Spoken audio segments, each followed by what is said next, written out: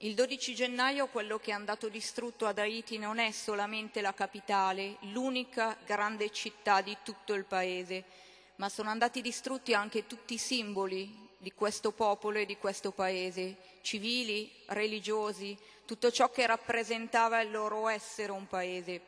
È andata distrutta la cattedrale di Port-au-Prince, il palazzo del presidente, tutti i ministeri, tutto ciò che rappresentava qualche cosa che questo popolo aveva costruito nei suoi 200 anni di indipendenza di cui va giustamente molto molto orgoglioso.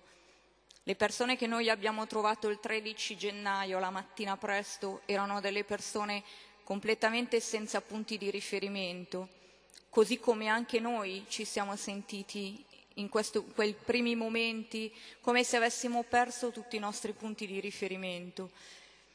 Quello che a me ha stupito, la prima delle tante cose che mi hanno stupito, la mattina del 13 gennaio, quando alle prime luci dell'alba abbiamo preso la macchina per andare nei quartieri dove lavoravamo, è stato trovare davanti al nostro ufficio i nostri collaboratori e la gente con cui avevamo lavorato in tutti i mesi precedenti.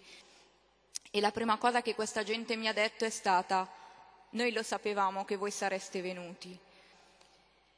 Noi crediamo che il futuro di Haiti sia cominciato quel 13 gennaio, in cui le persone che ancora c'erano hanno capito che qualcosa dopo ci sarebbe stato ancora.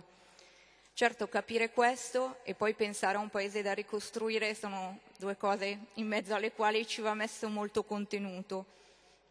Nei nostri campi, nei campi dove si lavora in questi mesi, non ci sono bambini cosiddetti separati o non accompagnati, cioè bambini soli. Ogni bambino ha trovato una famiglia con cui stare. Certo, forse non è stato un gesto proprio totalmente spontaneo il prendersi in carico un figlio in più in una situazione del genere, diciamo che un po' magari va suggerito ogni tanto. Però questo è successo. Chiedevo ai miei assistenti sociali haitiani com'è possibile che sono sei anni che lavoriamo a Cité Soleil, abbiamo il problema dei bambini abbandonati, adesso c'è una catastrofe, i bambini abbandonati non ci sono più. Volevo un po' dirgli, cioè non è che avete lavorato benissimo fino adesso. Eh?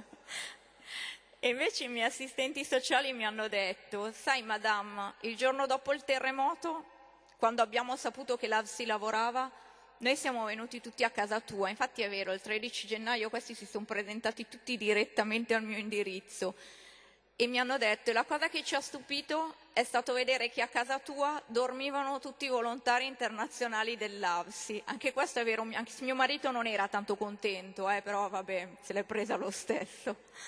E hanno detto, noi vi abbiamo visto vivere insieme per tre mesi come se foste una sola famiglia. E allora ci siamo detti che potevamo farlo anche noi.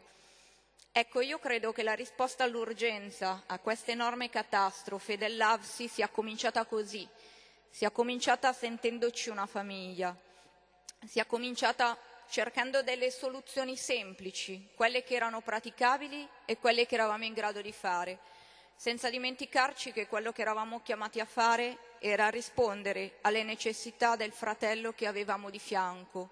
E anche questa gente in questa situazione terribile non desidera con la ragione, ma quando desidera qualcosa di veramente grande lo desidera con il cuore. Questo è una catastrofe, ma è anche un'opportunità per questo Paese e noi vogliamo fare in modo che questa opportunità diventi una realtà.